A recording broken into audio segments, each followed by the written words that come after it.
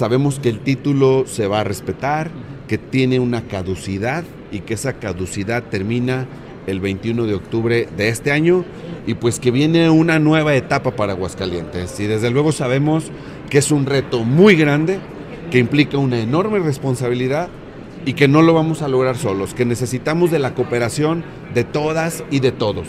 Nadie va a cuidar el agua mejor que nosotros. Nadie va a cuidar el agua mejor que quienes vivimos en Aguascalientes.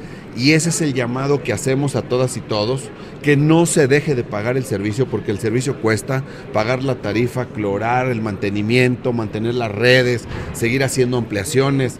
Decirles que no hemos dejado de invertir el año pasado se invirtieron más de 180 millones de pesos del municipio y este año pues estamos previendo una inversión de aproximadamente 500 millones de pesos. Entonces, nosotros no hemos dejado de invertir y le pedimos a la gente, a los usuarios, pues que no dejen de pagar, porque si no dejamos de pagar, todos vamos a tener un mejor servicio. Y esta es tarea de todas y todos. También sabemos que hay quienes atraviesan por una situación complicada. Bueno, pues también hay un fondo de apoyos sociales, no hay descuentos. Cuando vamos a poner gasolina, aunque diga Pemex, no te dan descuento. Si vamos a pagar la, el recibo de luz, no hay descuento.